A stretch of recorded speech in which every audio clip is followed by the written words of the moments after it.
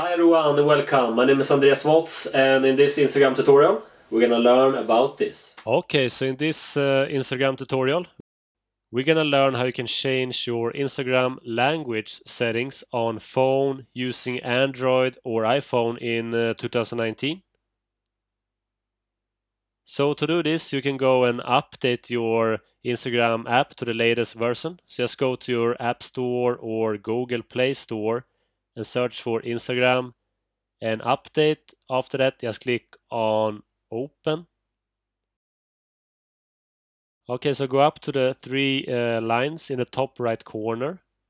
Go down to settings and go to account.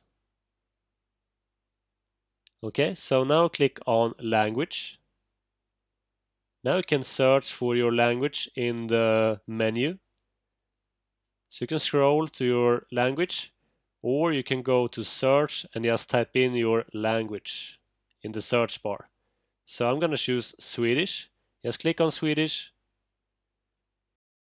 And this will change your language on your Instagram account. Okay? So if you like this, you can go and subscribe to my channel.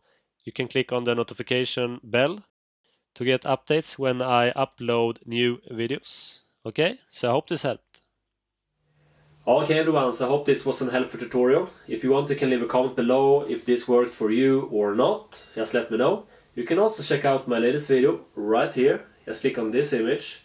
And if you want more of these videos, just subscribe right here. And turn on the notification button right here under this video. So you will get the updates when I upload a new video. Alright? So I hope you have an awesome day. Take care and bye.